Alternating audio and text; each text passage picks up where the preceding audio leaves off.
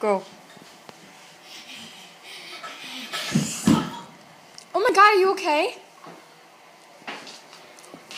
Did you fall on your face?